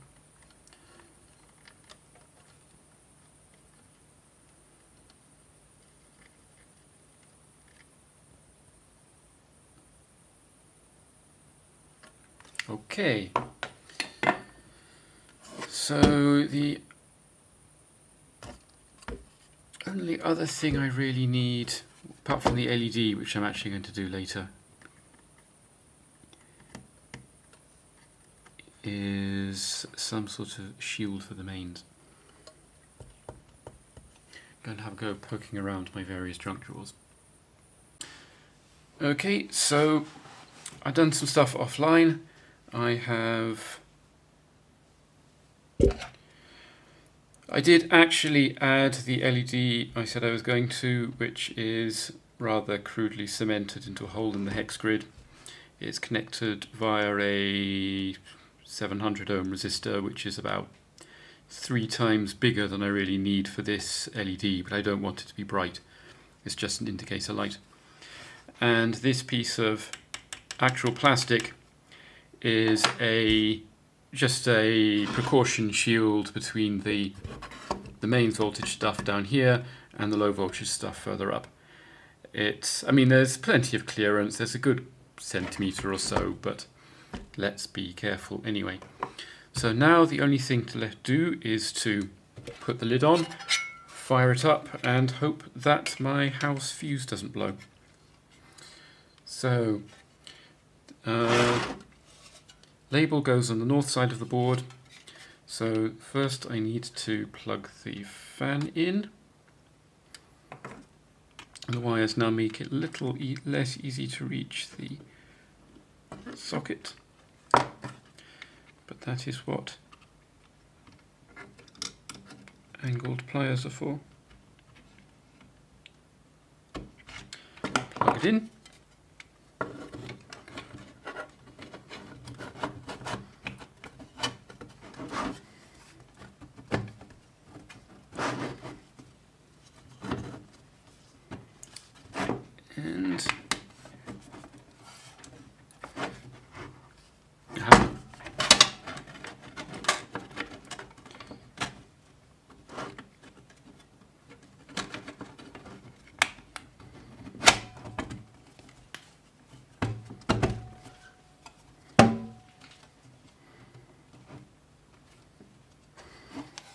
Okay, and the screws go in the top, which is nice and convenient.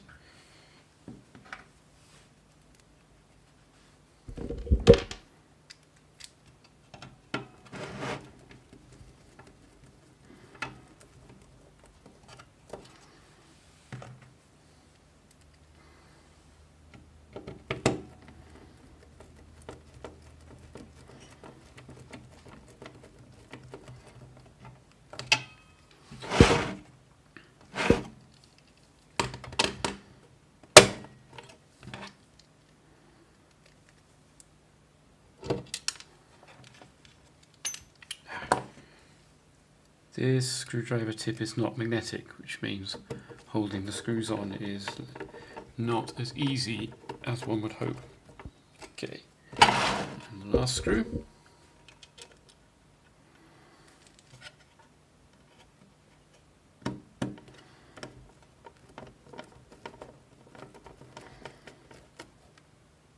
Okay, that now feels nice and robust.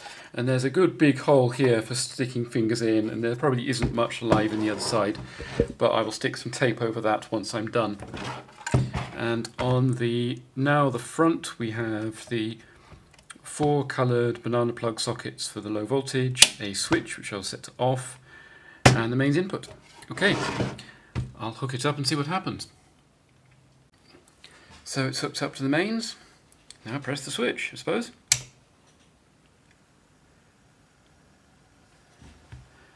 And the spinny thing spins. The LED glows. Still quite bright actually. And now I need some banana plugs and we'll check the voltages.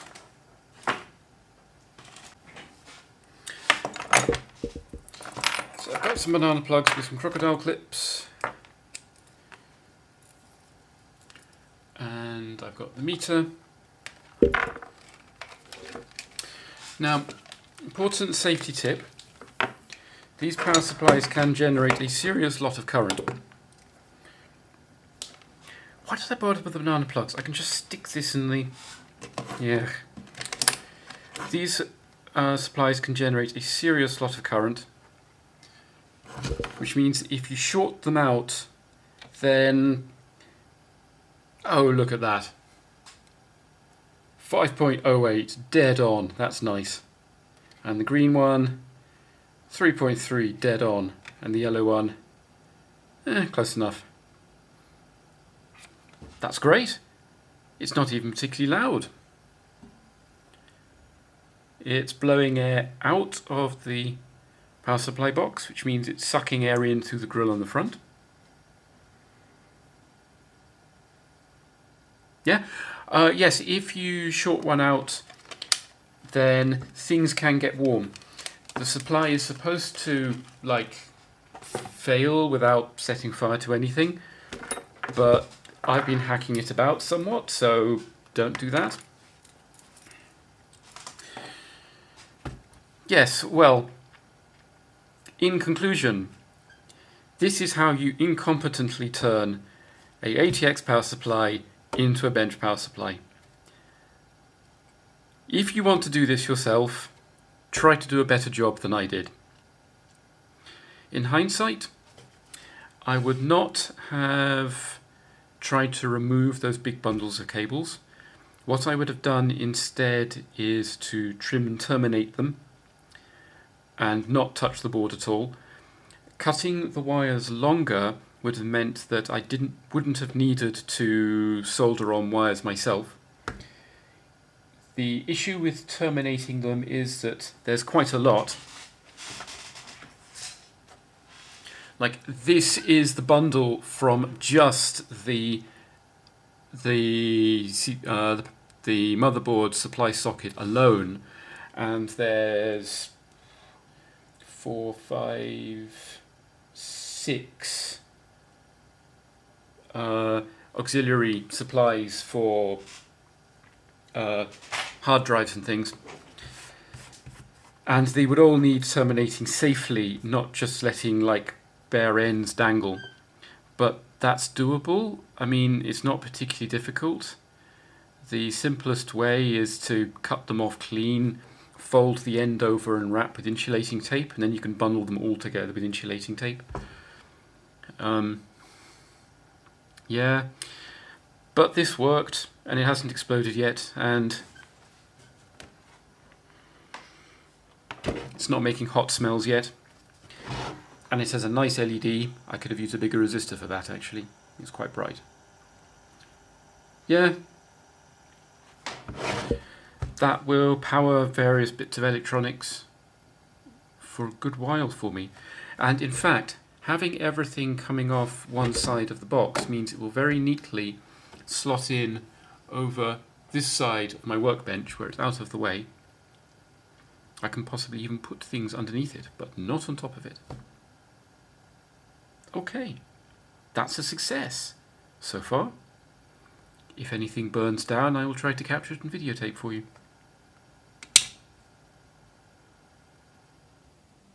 Oh good, that does turn off.